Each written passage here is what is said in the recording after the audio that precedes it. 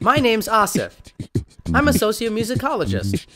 I've come to Bonnaroo, the biggest social music event in the country, to put music to the test.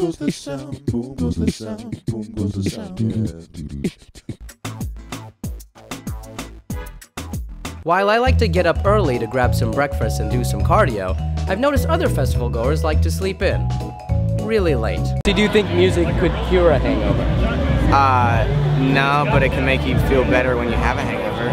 So, that, Before testing my musical hangover remedy on others, I need to try it on a good looking guinea pig, like myself. Do you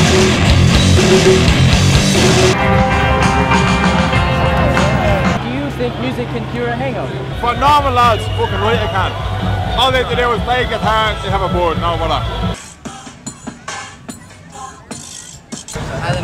Do you think music could cure a hangover? What time of day is it? What time is it now? In conclusion, can music cure a hangover?